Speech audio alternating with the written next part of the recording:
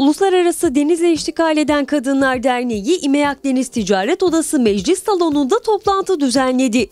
Denizcilik sektöründe görev yapan kadınlar Vista Türkiye çatısı altında faaliyetlerine devam ediyor. Bu kapsamda Deniz Ticaret Odası'nın meclis salonunda düzenlenen toplantıyla ilgili Vista Türkiye Başkanı Nazlı Selek bilgi verdi. Derneğimiz bir sosyal e, yardım e, derneği. E, aynı zamanda sektörel bir dayanışma derneği diyebiliriz.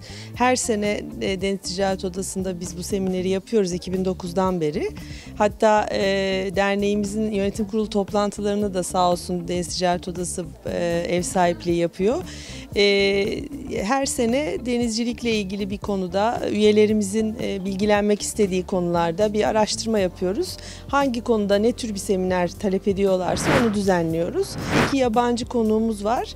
E, bir tanesi bir hukuk bürosundan bir avukat, e, diğeri de bir P&I kulüp e, temsilcisi.